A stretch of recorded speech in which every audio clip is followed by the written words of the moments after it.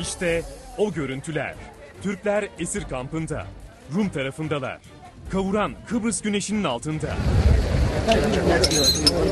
Bu görüntüler ilk kez gün ışığına çıkıyor. 35 yılın ardından ilk kez.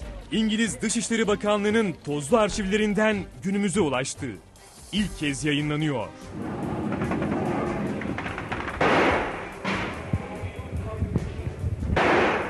İngilizlerin çektiği görüntüler Kıbrıs Barış Harekatı'na ışık tutuyor.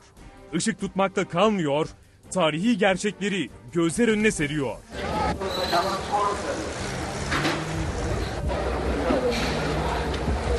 İşte Rum tarafındaki Piskobi esir kampı. Türkler yiyeceklerini tel örgülerin ardından gardiyanlardan teslim alıyorlar.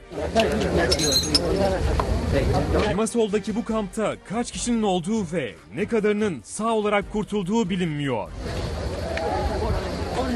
The other people of the village are arrested. The men, the other ladies and children are in the village. We don't know what happened to them. Yaklaşık 20 bin Türk gece gündüz açıkta tutuldu. Tam 6 ay boyunca.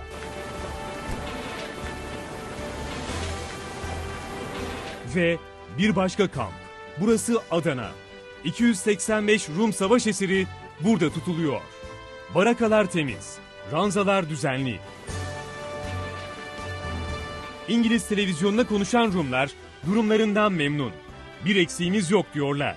Fed well, medical treatment as well. Rum yönetimi işte bu kişilerin öldürüldüğünü iddia etti.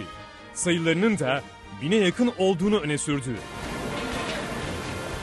Oysa Türkiye Rumlara gözü gibi baktı. Sonra da Kızılaç üzerinden Rum yönetimine teslim etti. Bu görüntülerde harekatın ilk anlarından. Türkler canlarını kurtarmak için Rumlardan kaçmaya çalışıyor. Radyodan yükselen anons yüreklere su serpiyor. Kıbrıs'ta yeni bir dönemin başladığını haber veriyor.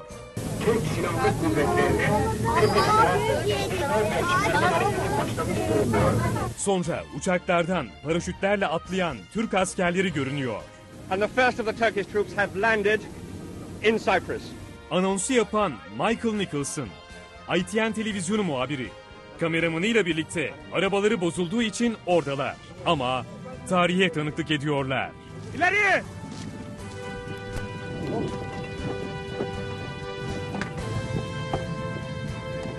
Barış gücü suyu kalmayan halka yardım dağıtıyor. Sokaklar bomboş. Harekatla birlikte kaçan köylüler güneyin içlerine doğru ilerliyor.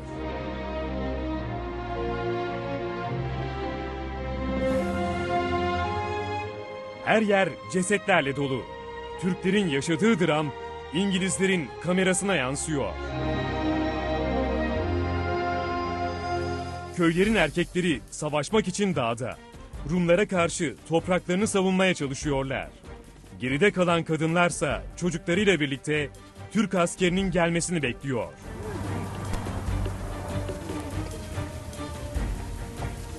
Barış gücü ise endişeli. Geride kalan Türk kadınları ve çocukları için Rumlardan garanti istiyorlar. Yaşam garantisi. You can guarantee the Yes. lives of the Turks. Yes, yes. Bu görüntüler 1974 yazında Temmuz ayında İngiliz televizyonları tarafından kaydedildi. BBC ve ITN iki kanal da bu görüntülerin çok kısa bir bölümünü kullandı.